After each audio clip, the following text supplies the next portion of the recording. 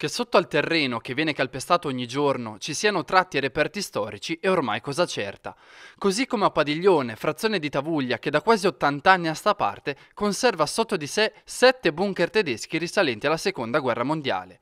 Una rete di fortificazione difensivistica militare attribuibile alla linea gotica costruita nel 1944 che si estendeva per 300 km dal versante tirrenico al versante adriatico.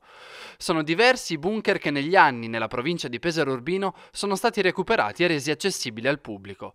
L'ultimo in ordine di tempo quello di Vallefoglia sul monte di Montecchio, dove sopralluoghi e scavi hanno permesso l'accesso a chi desidera conoscere più da vicino la storia del proprio paese.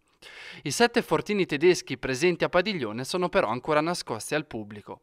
Andando con ordine, uno si trova in strada Casella, tra monte e zona abitata, dove tra fine 2020 e inizio 2021 un abitante dello stesso paese, incuriosito dalla rilevanza dell'argomento, si è messo alla ricerca dell'ingresso del bunker.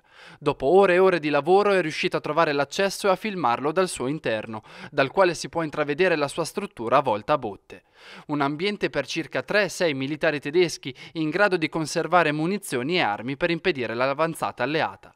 Altri due invece sono situati in strada Santa Barbara ed entrambi si trovano seppelliti da una colata di cemento o da un casotto dell'Enel che ne tarpano di conseguenza il recupero. Quello presente all'interno di una proprietà privata è l'unico dei sette che è collocato su una collinetta, orientato verso il monte di Colbordolo, zona dell'avanzata delle truppe alleate. Per quanto riguarda quello sottostante l'edificio dell'Enel, si vocifera che il bunker avesse tre uscite, due laterali e una frontale, collegata a quest'ultima al fiume Foglia. L'unica delle tre rimaste visibile è quella laterale, nel tempo cementificata bloccandone l'accesso. Altri due si trovano in via Antonelli, entrambi sotterrati da altrettante abitazioni che ostacolano ogni tipo di approfondimento. Però dal maggiore spessore di un tratto di strada si può notare come effettivamente dalla botola presente nella proprietà privata ci possa essere un collegamento con il fosso a fianco. In via Enrico Fermi invece, sempre in un'area di un privato, si trova un casotto che circa 50 anni fa è stato edificato su un appezzamento di terreno. Quello stesso terreno che da decenni ricopriva l'ennesimo riparo tedesco, che ora si trova a qualche metro di profondità e che necessita di un importante lavoro di scavo per poter risalire al reperto storico.